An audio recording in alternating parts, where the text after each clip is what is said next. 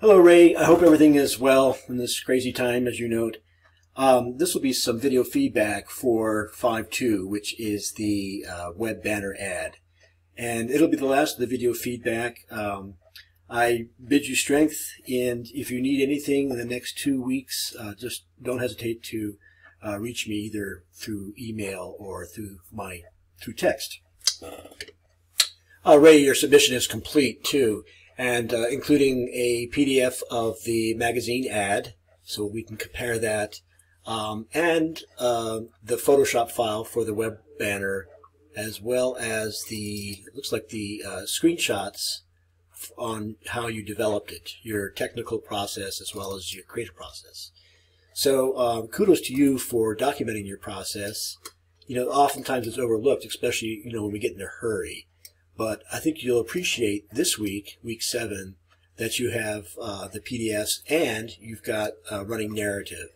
This can become the basis for your final reflection, and it shows me exactly how you did various things.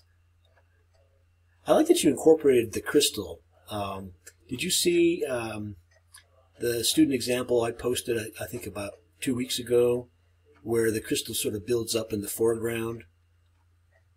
I like these where you have uh, combined the sunset with the uh, amethyst crystal. It almost seems in a way that the light's shining through.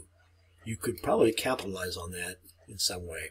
But anyway, it's a good um, uh, narrative of your technical process and your hurdles that you overcame.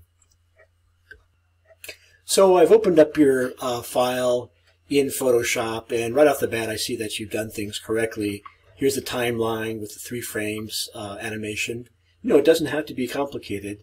And then also I see that you've organized things on layers exactly as um, required by the assignment. And I'm sure this made it a lot easier uh, to um, organize it. This looks a little squashed uh, to me. The, the logo looks a little vertically compressed. And also, too, uh, be careful. Um, these banners are going to need a little bit of margin or what they call in web speak cell padding. Uh, it's the same thing as margin in print. And I wouldn't clip the descenders of the letter forms uh, off. So you could probably you know make this, don't squash it, move it up so that it doesn't get uh, cropped at the bottom. And let's back it up and see how it works.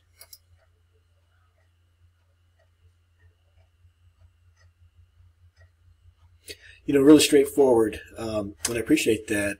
Now, it's generally assumed that by clicking on the web banner, you'll go to a website, right? So in a way, contact information isn't necessary. Um, but I'll let you let you make that determination. You know, perhaps uh, think about your other colleagues' ads. Many of them have at least the URL for the web. Uh, whatever the visually is the cleanest way of doing it, and if you decide to omit it, at least be prepared to defend that omission. Uh, Ray, I think I'll conclude this here. And uh, don't hesitate to reach out if you need any help or clarification.